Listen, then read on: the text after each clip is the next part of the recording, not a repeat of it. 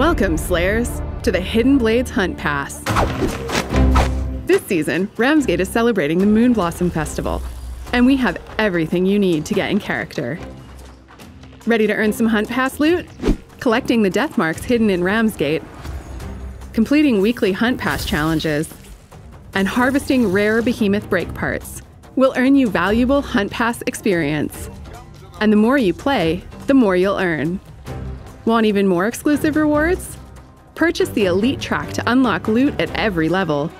Or spring for the Elite Track bundle to instantly unlock 15 levels of rewards. Don't forget, you can check your progress at any time by opening the Hunt Pass from the main menu. Gugario can help you out as well.